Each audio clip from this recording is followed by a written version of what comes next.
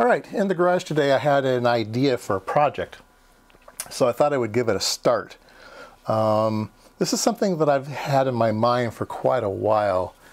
Um, it is a, uh, analog synthesizer, so a, a music synthesizer.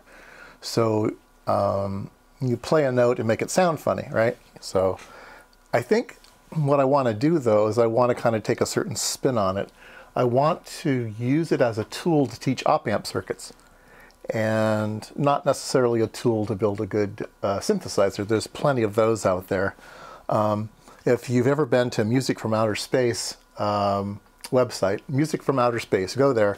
The guy's great. He's got all kinds of uh, DIY kits and everything. And um, I thought about buying one of those kits and using it as a training tool, but um, it's not really laid out the way that I want it.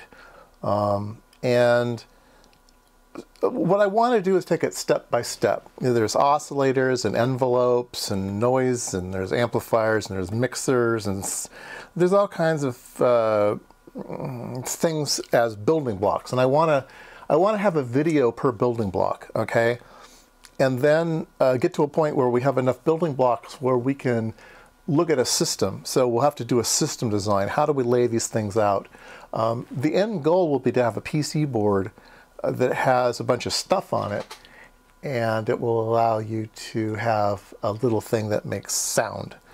And uh, most of the DIY synthesizers I've seen, they design them so they go into racks or they go into a little box and they have they have giant potentiometers on the front and they have really big patch cables and everything and, and I just don't I just I just don't I'm not excited about that. So what I want to do is I want to have a little PC board that has all the little components of a synthesizer all on one board, and then all the jumpers will be done by uh, these little uh, these little jumpers will be uh, little pins, and you can you can have little wires and you can jump things, and uh, so it'll be like a mini Moog. it'll be a micro Moog.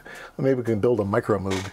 Um, and uh, see how we can uh, see how we can do things. So we're going to need a bunch of building blocks.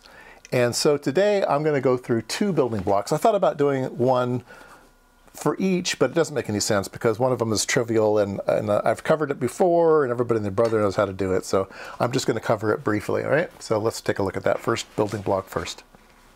So the first building block is going to be the output. So we're going to work backwards, okay, uh, in this particular case. In order for us to test each section, because it's going to be outputting sound, we want to be able to hear it. And so I think the first thing we need is some way to hear it. And so I'm going to use an LM386 and a speaker, and we'll have this as the output section. Now, anytime we build an oscillator, we can hook it through here and hear it. Anytime we build an envelope generator, well, we can hear that. Um, and uh, so uh, this is what I want to build today. Now, um, instead of reinventing the wheel, I really like to, when I do projects, I like to think about the future. It's like, hmm, maybe I could design it such that this would be something you could use for multiple purposes. And uh, uh, I did this board for my wife. She had a keyboard, and I wanted to have a little mixer so I could mix uh, like YouTube and the electronic piano together and hear it in the earphone. So it was it was a, it was a mixer, a cheapy little mixer. And so I, I designed this little circuit. And uh, the circuit has, um, ah, this is not the right, this is not the right board. That's interesting. I did another revision of this one. This one's completely, completely just a proto board. But uh, let's show the board. The board that I did do is this one here. Um, it's the same form function. I guess I, I guess I was thinking ahead. I'd have a proto board that I could design other things on, and then I would have this board which had the, uh, audio output. So anyway, I forgot all about this board. I have to, I think about that one. Okay, so anyway, this board has uh, it was for stereo, and so there's two sections of three uh, LM386s. So each for right and left and everything. So I'm going to repurpose this board. I'm just going to run it mono. So I'm just going to load one part in, and um, I will bring in a source and then we can hear it. And I've added a um, added a volume adjust okay? So this is what I have on that board. Uh, the volume adjust is just a, uh, resistor divider, 10K pot, comes in, it gets uh, capacitively coupled into the 386. There's some bypassing on the 386, and then there's some, um, there's a funny little section on the output that's a 10 ohm and a, I think it's 0.047 microfarads is the ideal, but I just put in a 0.1 because that's what I've got, and, and it's fine. It, it just, it keeps the, I believe it keeps the op amp happy because it has this inductive load out here, and uh, that's what this is for. All right, and then it's capacitively coupled to the uh, to the speaker, 47, 47 microfarads here, 47 microfarads here, and uh, that's what that board has on it now. Okay, okay, so that's that's a building block number one. Okay, now let's talk about building block number two. So this is building block number two. It is a uh, NPN output, so it's amplifying something and then sending it out. And what it's amplifying is the current into the uh, base of the transistor, the current here. Well, where's that current coming from? Well, that current's coming through this 12 volts, and it's going through a diode, and it's going into the base. And it is a, a Zener diode, so it will be conducting. It's an 8.6 volt Zener diode, so it will allow current to flow, even though it looks like it's in backwards, it's a Zener diode, so it will let it through. And Zener diodes work on the physics principle of uh, avalanching.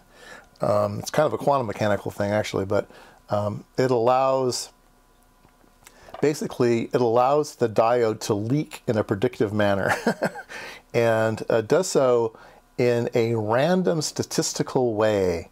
Um, and so because it's kind of random amounts of electrons that get to do the avalanche thing.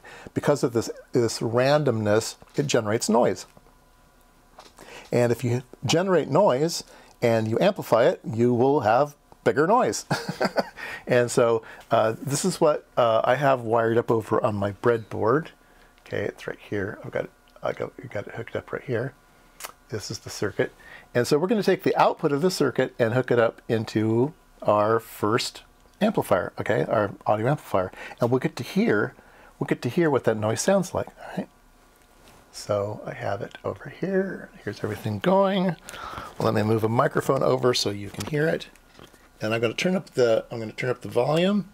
Uh, let's, let's zoom out a little bit here so you can see you can see the speaker. All right, so and there's the noise.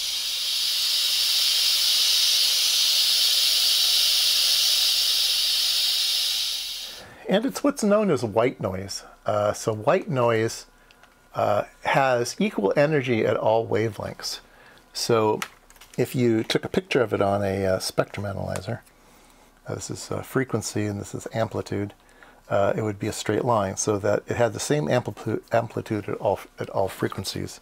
Um, it'd, be, it'd be real noisy, but it would be basically a straight line. And we need this thing to be able to operate over audio frequencies randomly, and it seems like it is. So um, let's take a look at that on the oscilloscope. It's pretty interesting.